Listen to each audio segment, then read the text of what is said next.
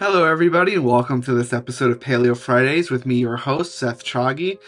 And of course, as all of you know, this is a little bit late coming out today on a Sunday, but that's alright because I wanted to spend the weekend gathering a lot of input on what you guys wanted to see in this video and what you wanted to learn about.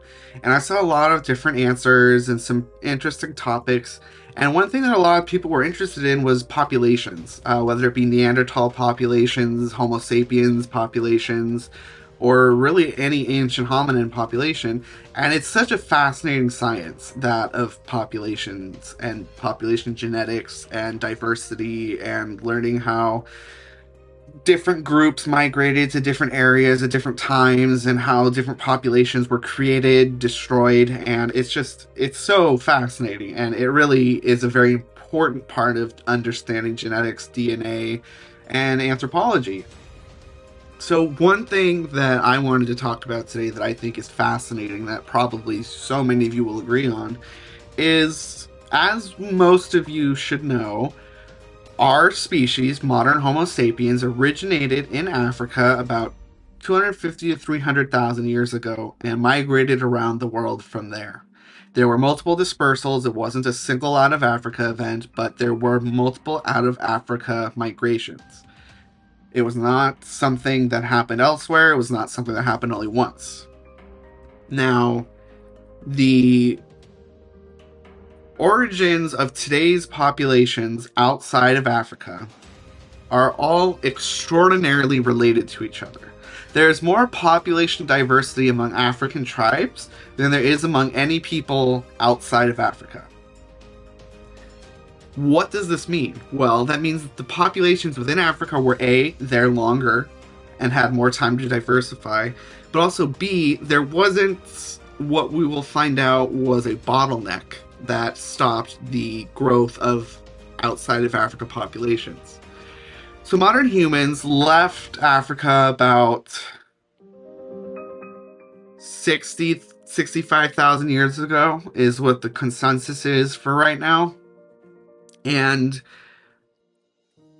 around 70,000 years ago, and this is pretty well dated, we have an eruption of a volcano in Indonesia uh, called Mount Toba. Now, the Mount Toba eruption was not something that we see very often um, because of how utterly explosive this event was. Uh, it was definitely it, the Mount Toba eruption was definitely something that signified the start of something new for modern humans because of what it stopped, what it destroyed. Now, as a supervolcano located in present day Lake Toba in Sumatra, Indonesia, it's one of the Earth's largest known explosive events. Now, this event actually caused a volcanic winter that lasted six to ten years and contributed to a thousand year long cooling episode, leading to a genetic bottleneck in modern humans.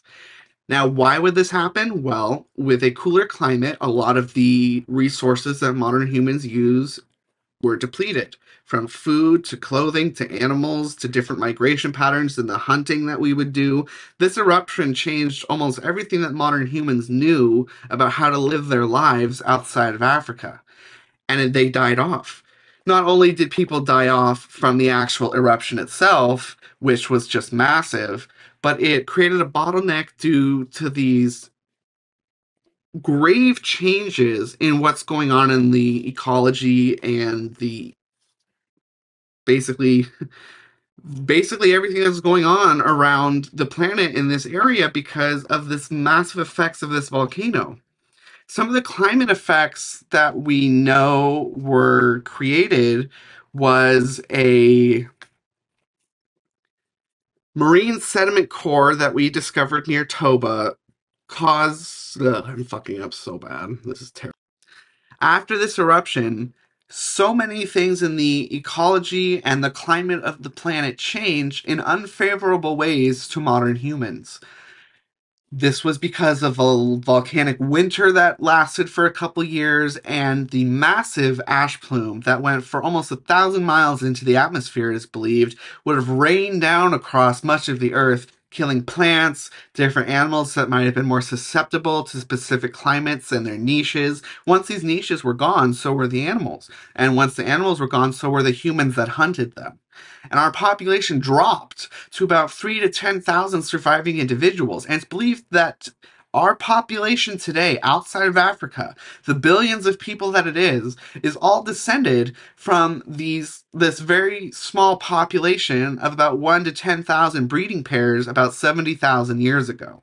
So that is why so many of us are actually so related to one another because we did not have time to genetically diversify as we spread across the earth while humans prior to us had and other species had, which created speciation and the Neanderthals, and Denisovans, and other hominins as they found more and new ecological niches to adapt to.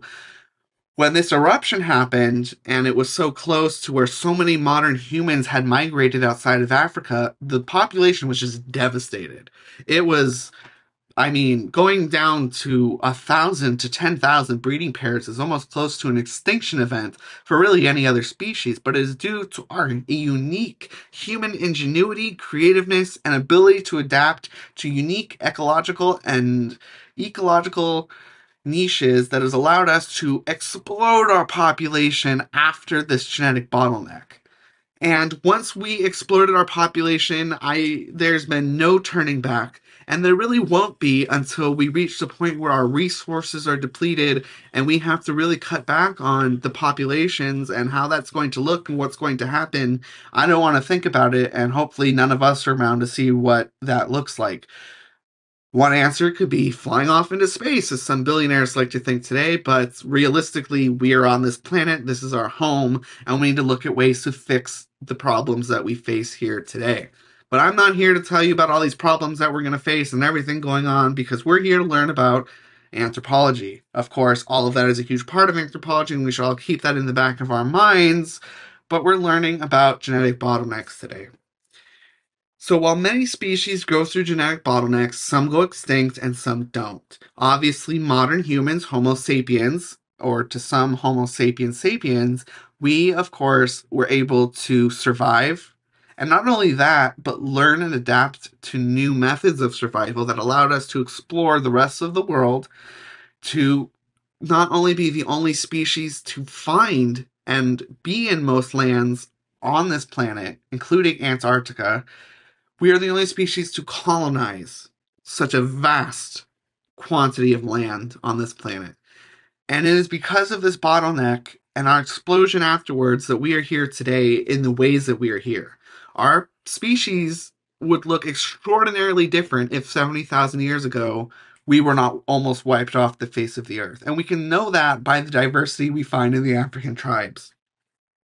So I think that about does it for this video. There's really not too much to talk about. You get the general basis and idea. We had a large population. There was a huge, massive volcanic volcanic explosion that created a volcanic winter and caused a great dying of many plants and species. And it led to a bottleneck for modern humans who, again, we went down to possibly even a thousand breeding pairs. So 2,000 adults uh, and we survived. It's fascinating. It's unbelievable, and it really goes to show one reason why we are so amazing. All right, I'll see you guys next time. If you like this video and if you learned something new, please drop a like, subscribe, and maybe even share it if you thought this was pretty cool. Uh, next video will probably be a Skulls with Seth, so look forward to that. And I've got more interviews planned for the story of us coming up. So it was great seeing you guys, and uh, talk to you later.